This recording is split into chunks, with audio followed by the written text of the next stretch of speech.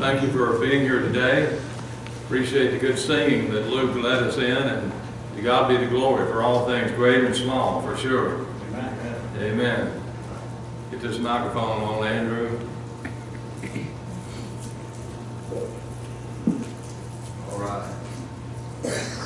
Tonight is the fourth Sunday night of the month, and we have congregational singing led by the men, and some of the men who do not feel comfortable leading a song or have that ability uh, will do a reading or share a short uh, illustration or spiritual thought. So I hope you'll be with us for the evening service tonight, the Lord willing, at 6 o'clock. We'd love for you to be here. And let's add to the list, Sammy Stout injured himself uh, working on the roof, and uh, so we pray he gets feeling better real soon. And let's see, I believe Ben Reed is here today as the son of Larry and Sharon.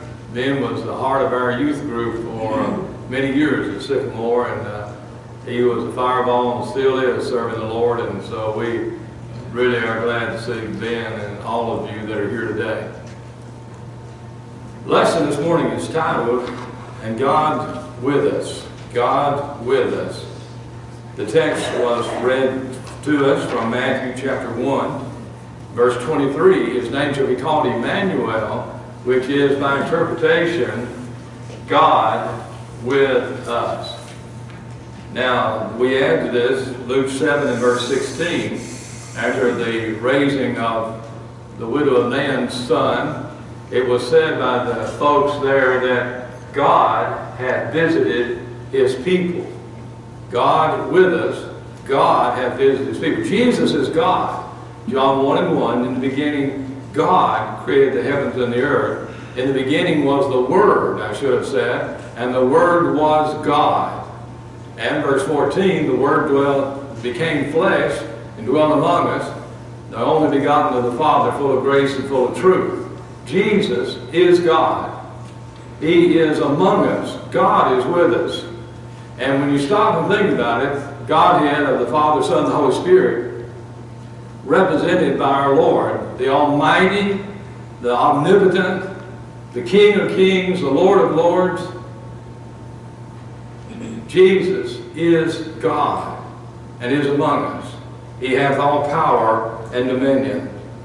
In Matthew 28, called the Great Commission, Jesus said, All power is given unto me, heaven, heaven and in earth. We're thinking today about Jesus, God, having the power of creation, the power over disease, the power over death.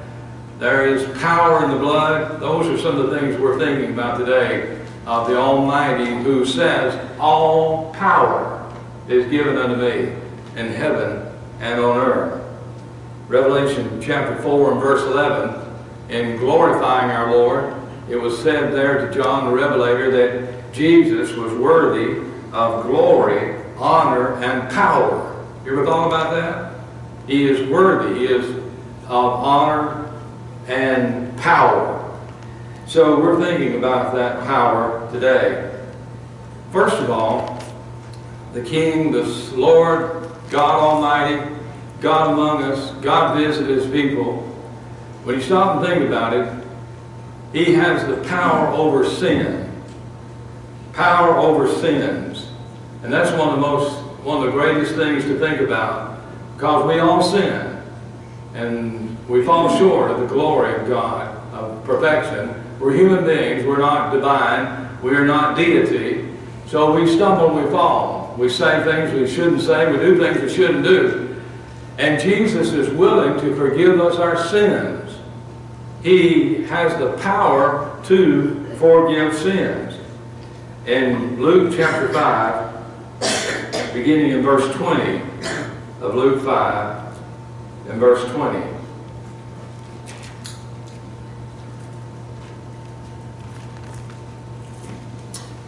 When they saw, when he saw their faith, he's talking about the men who lowered the man with palsy or paralytic.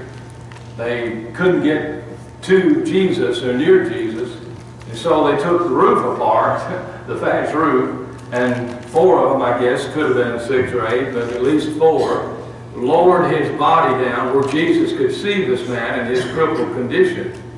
And so when he saw their faith, he said, Man, thy sins are forgiven thee. The scribes and the Pharisees began to reason, saying, Who is this that speaketh blasphemies? Who can forgive sins but God alone? Yes, there's the point. Who can forgive sins? They're right. They are exactly right. No one can forgive sins except God alone. Now it goes on, Jesus perceived their faults. He said, Why reason such in your hearts? Whether is it easier to say thy sins be forgiven or to say rise up and walk? But that you may know that, that the Son of Man hath power, watch it, watch it now, but that you may know that the Son of Man hath power upon earth to forgive sins, he says to the sick of palsy, I say unto thee, arise and take up thy couch and go into thine house. And immediately he rose up before them, took up his whereon he lay, and departed into his own house, glorifying God. Jesus has the power to forgive sins. So they were correct. Only God can, and Jesus is God. So he could do that, which only is possible through the Lord Jesus, the forgiveness of our sins. Look at Isaiah 1 and verse 18. Isaiah 1 and verse 18. We've got a description given there concerning the Lord by prophecy in regard to Isaiah 1 and verse 18. Come to me, and let us reason together, saith the Lord. Though your sins be as scarlet, they shall be as white as snow. Though they be red like crimson, they shall be as wool. Now we've heard about the crimson tide, I think, a few times, yea or nay. But uh, our sins are like crimson. And you know that bright red color is what the description is given there in Isaiah 1 and verse 18. But it shall become, your sins like crimson shall become as wool, white, or as snow. And there's nothing whiter than snow. But our sins can be forgiven and will be forgiven by the power of Jesus Christ. Another good reference is Acts 22 and verse 16. Arise and be baptized and wash away thy sins. Revelation 1 and 5. Unto him who loved us and who washed us from our sins in his own blood. The blood of Jesus is the detergent that has the power to wash away my sins, your sins. The blood of the cross is able to wash away sins. Though they be red like crimson, they shall be as white as snow. That's a beautiful statement of what God is able to do. Jesus has all power. He has the power and the ability to forgive sins. Second of all, Jesus has the power over demons, demonic beings.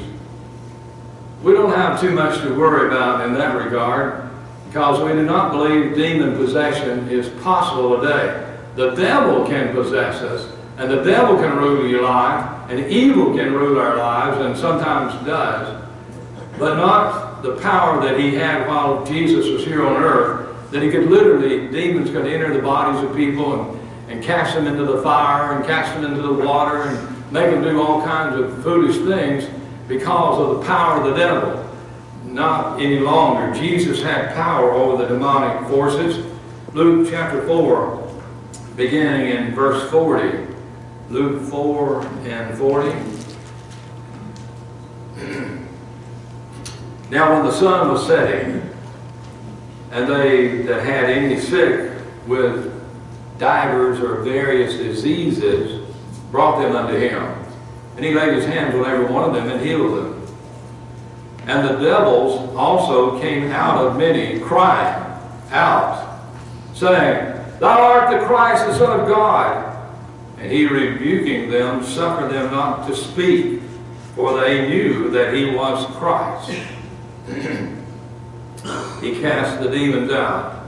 He had power with the demonic realm of of existence. The power of Jesus over sin, power over demons. Excuse me. He has power over nature as well.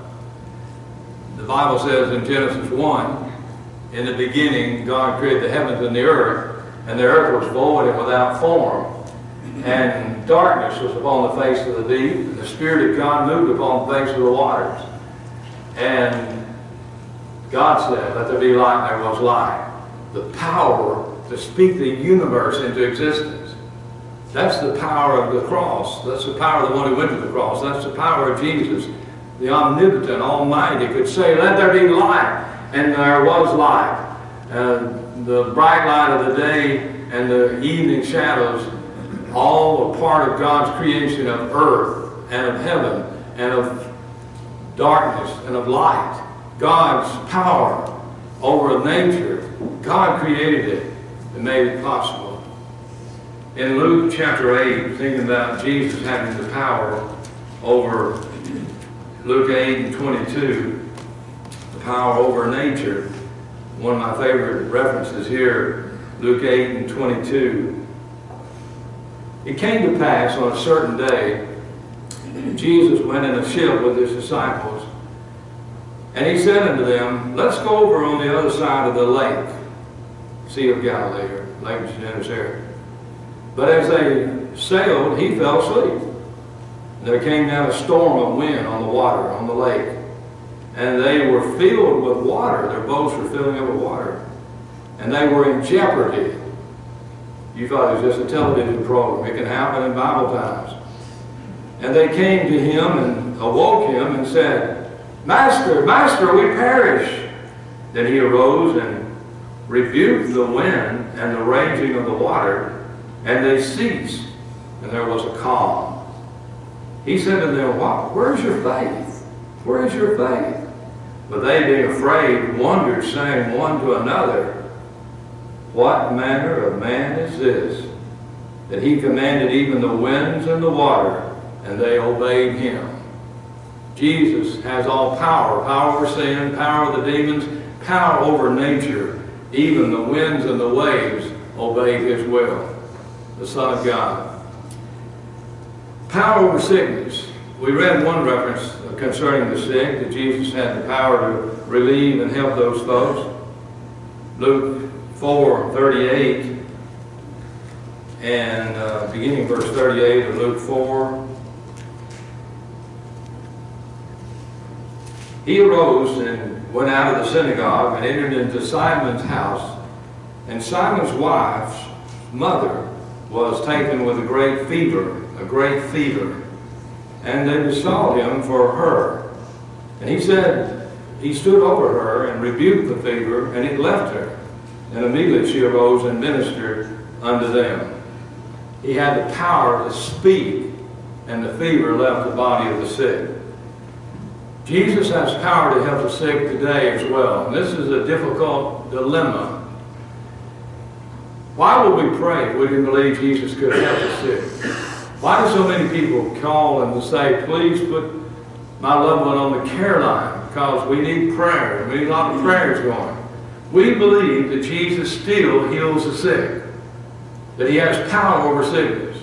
Now the dilemma comes, there are certain rules of the universe and of creation that say we're all going to die. We're all going to, somehow, something's going to happen to us that we're not to live here on this earth forever. Sickness and death are realities. Appointed unto men once to die, after this comes the judgment. So we can't stop the death process. But one of the great stories of the Old Testament, Isaiah 38, about King Hezekiah, God said, Set thy house in order, for thou shalt die and not live. And he prayed, and he turned his face toward the wall, and he wept, and he prayed. And our father intercepted Eli, uh, Isaiah leaving the grounds, said, Go back. I want you to tell Hezekiah, I've seen his tears, sincerely. And I've heard his prayers. I'm going to increase his life 15 years. I believe that. I believe that's still possible today, according to the will of God. Remember, James 5 and verse 14. Is there any sick among you? Now he's writing to Christians. Let him call for the elders of the church. Let them pray over him, anointing him with oil in the name of the Lord. And the prayer of faith shall save the sick. And the Lord shall raise him up. If he's committed any sins, they shall be forgiven him. Now let's add another verse to this. 1 John 5 and 14. This is the confidence that we have in him, that if we ask anything according to his will, he heareth us. It must be according to the will of the Father. But we believe that yes, Jesus can. I think some of us right here in this audience are a part of that 15-year help. And uh, add 15 to whatever your age is. It may be a little scary for some of us. But you know, I believe God is working even in the lives of so many today. His will. He has the power of over sickness. But it must be the will of God. We, we're, we can't live here forever. We're not going to live forever here. We're, our days are numbered. But we have the hope and the blessing of knowing that Jesus does have the power over sin. I hope, pray, that whatever the future may hold for all of us, that we're able to say, listen, listen, doc, listen to me, doctor. I know what you're saying, but my faith and my belief is in the Almighty God, and that He uses doctors and He uses medicine to increase life according to His will. He has the power over sickness, as He did in Bible times. He has the power over disabilities. We saw that with the man with palsy. And last of all, he has the power over death. Revelation, well, I jumped ahead of myself there. The centurion servant was on the point of death according to Luke 7 and was helped by Jesus, was dying and was helped. And then we've got the beautiful story in Luke chapter 7, beginning in verse 11. Luke 7 and 11. Came to pass the day after Jesus went to a city called Nain, and many of his disciples went with him, and much people. Now, when he came nigh to the gate of the city, behold, there was a dead man carried out. He was the only son of his mother. She was a widow. She's lost everybody now. Much people in the city was with her. A lot of people thought a lot of this lady. And when the Lord saw her, he had compassion. He always has compassion. He always has compassion on her, and he said, Woman, weep not. And he came and he touched the briar, and that would be the coffin, and they that bare him stood still. And he said, Young man, I say unto thee, arise! And he that was dead sat up, and began to speak, and he delivered him to his mother. And there was a fear on all that, and they all glorified God, saying, that a great prophet has risen up. No, no, no. God has visited his people. Jesus is God. And the power over death is one of the powers that he has. In Luke, in Genesis, I'll get it right, Revelation chapter 20, in verse 11, John said, I saw a great white throne, him that sat on it, from whose face the earth and the heavens fled away, and there was found no more place for them. And I saw the dead, small and great, stand. Dead, dead people don't stand. But John saw dead people standing. Huh. Somebody's got a lot of power here over the dead. When you're young, and somebody you love very much dies, it's hard to accept it. And you realize the power. I was 22 when my dad died. He was only 51. When we went to visitation, I passed out. I wasn't trying to put on a show. I, I literally, my, my legs just went out from under me. I hit the deck. I, I held several funerals, even at 22 years of age. But it was, there was a power there. The power was that my dad couldn't talk to me anymore. My dad couldn't speak. It's a whole different realm of, it, of being. And there was nothing I could do about it. I'd always been able to take care of things that needed to be done. I couldn't do it. But there's the power of someone who is able to do that, to raise the dead. I said to thee, arise, and he arose. John said, I saw the dead. John, what were they doing? They were standing before God. And the books were open, and another book was open, which is the book of life, and the dead were judged out of the things which were written in the books. So judgment is coming. The dead shall be raised. Only Jesus has the power to raise the dead. You know what I'm talking about? Have you been there? Have you felt that power of death and the ending of, and, and to know there's only one, there is one who can raise the dead. Not these fakes, not these money changers, but really can raise the dead and shall be raised for all, all eternity when the end of time shall come and the judgment day shall be. There is power, power, wonder-working power, in the precious blood of the Lamb. Amen. We've thought about the power of Jesus, God among us. God visited his people. And that he has the power over sin, the power over demons, power over the sick, power over nature, power over the dead. Mighty, wonderful power. If there's one here today that has never rendered your life, given your life to the Lord, look how much He's done to give His life for us. He hath all power in heaven and earth. Would you bow down before Him? Would you accept Him as your Lord and Savior?